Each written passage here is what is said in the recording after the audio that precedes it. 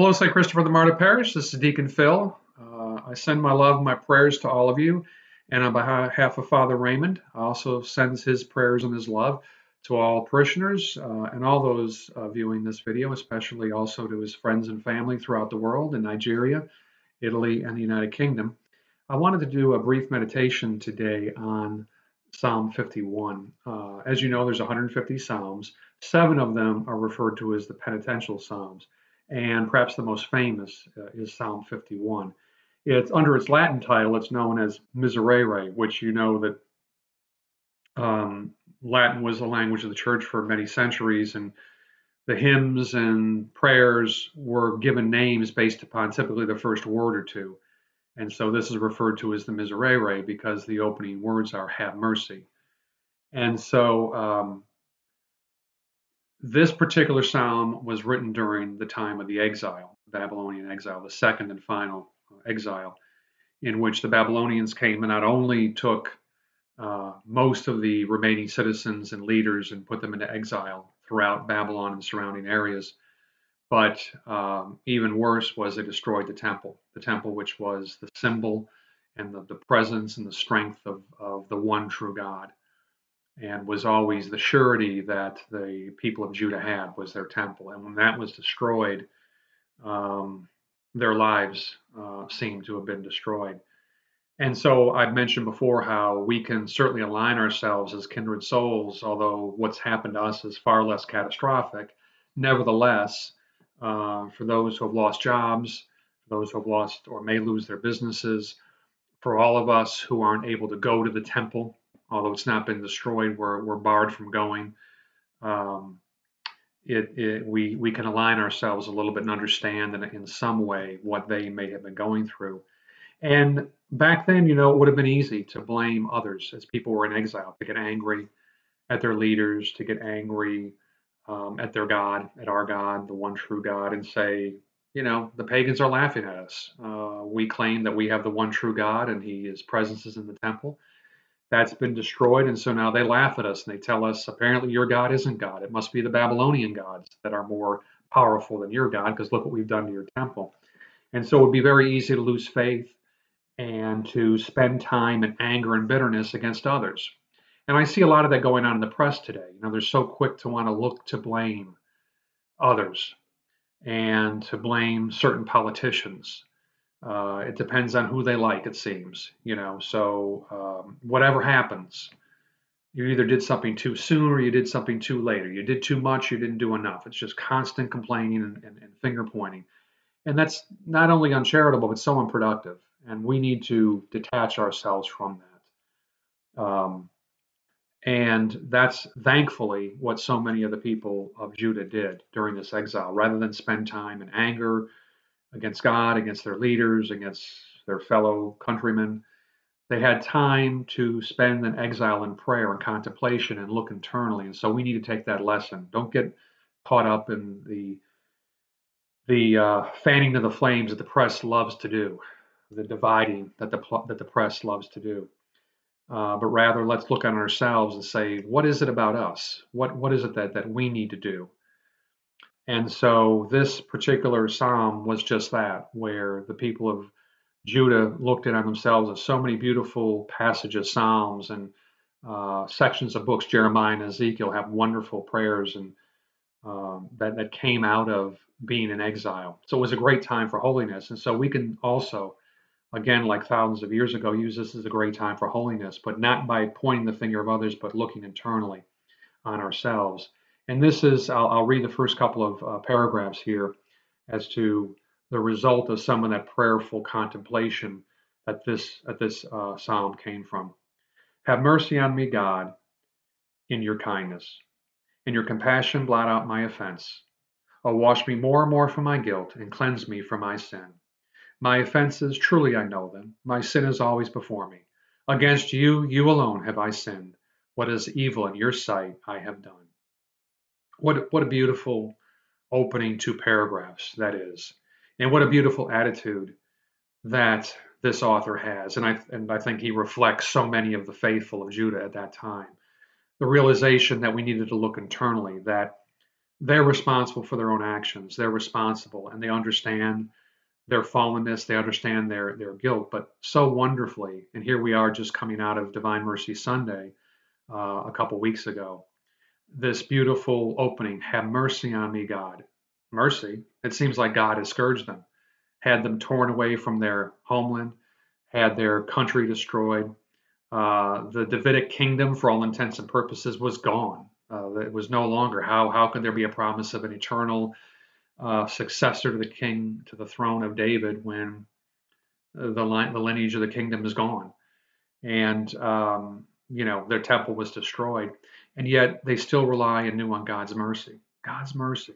And here Jesus is telling us through Divine Mercy Sunday, come to my mercy. They recognize that. In your compassion, blot out my offense. And the next section, oh, wash me more and more from my guilt and cleanse me from my sin. You may recognize that. And I always said that the best best Catholics are converts, and the best converts are Jewish converts. And I believe that that's because they recognize how much we embrace the Old Testament in our liturgy. Uh, we don't turn our back on it. And if you might recall, of course, most of the time during Mass, there's music going on during the uh, offertory.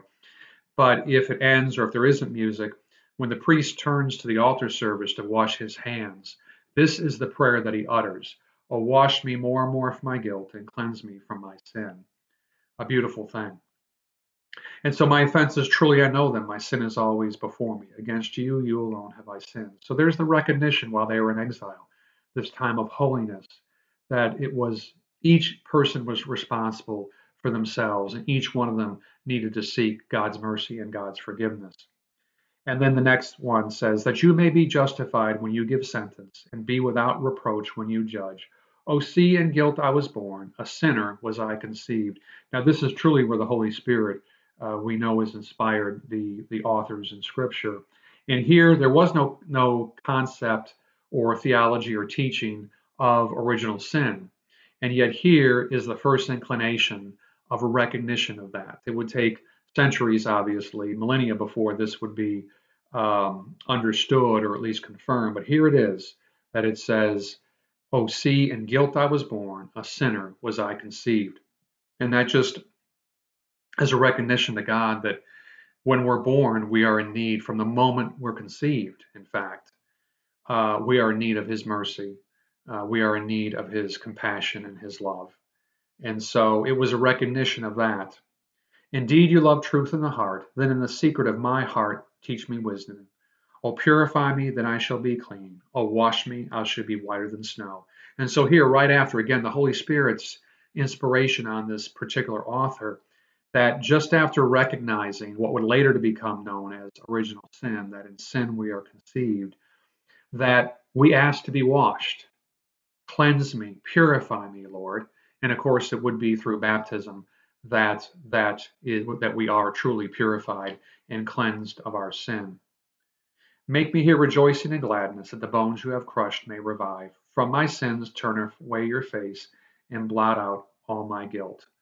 Again, looking to God and understanding that his mercy and love that he won't he won't hold that against us. If we turn to him with humble and contrite hearts, he is not going to reject his mercy from us, even though they were in exile in such dire straits.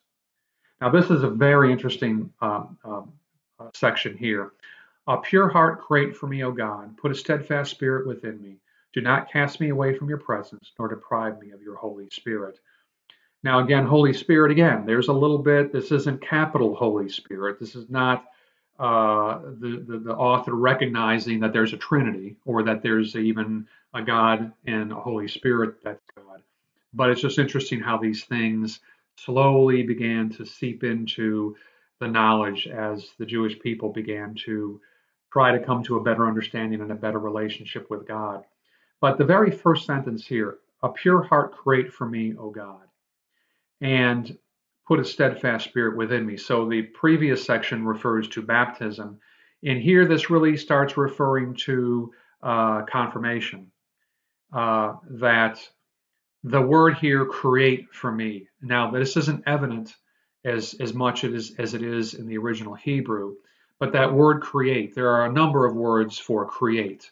You know, you can create a chair, you can, um, you know, create things from your hands.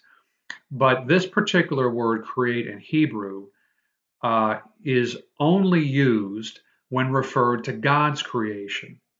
And so, someone who knows Hebrew and would read, be reading this in Hebrew back then, and the author who wrote it and such, use that word specifically because it's the very first verb in Scripture, in Genesis, where God created the world. And that is the same Hebrew word, and it is only used in Scripture for when God creates. So here, when we're asking, create a new heart for me, a pure heart for me, we're telling that it is only God that can create a pure heart because that word create is reserved only for God who creates. And so, a pure heart create for me, O God. They had realized that their hearts had a fault with it. That fault was original sin. And they needed grace to overcome it. So, the grace of baptism purifies it, but then they needed something to give it strength to continue so that they wouldn't fall again. We know in the Old Testament, we know in our own lives. We receive forgiveness, but then we fall. We receive forgiveness and then we fall. Um, our hearts are weak, but when we receive baptism, we're given that initial purification. And then confirmation, and of course, Eucharist, the graces we receive from the sacraments, we receive additional strength. We, we receive that, that the, the grace to have that steadfast spirit, put a steadfast spirit within me. That comes through by continuing going to receive the sacraments, and of course the sacrament of confirmation, in which that we will not be deprived of His Holy Spirit, in which a steadfast spirit would be will be put within us, and so that our hearts that are purified when we fall again can be made pure again through the continuing graces uh, that only God can give us, because He has put this new heart into us. It's not our old hearts are gone.